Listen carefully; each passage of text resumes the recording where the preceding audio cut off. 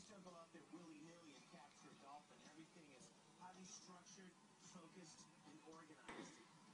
The animals that they go to capture have been researched, have been targeted. Many of them have been captured before. The team is divided into three groups. First, blue shirts. They're the photo identification team. Scooby, Scooby. specific individual dolphins idea for capture, Hey. and then bring you back to location.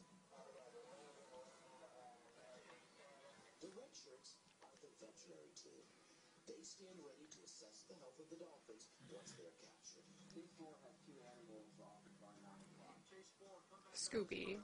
Hey. You'll be in a little better position. He's getting in there pretty good. And finally, the white shirts, which are Giving the kid kisses.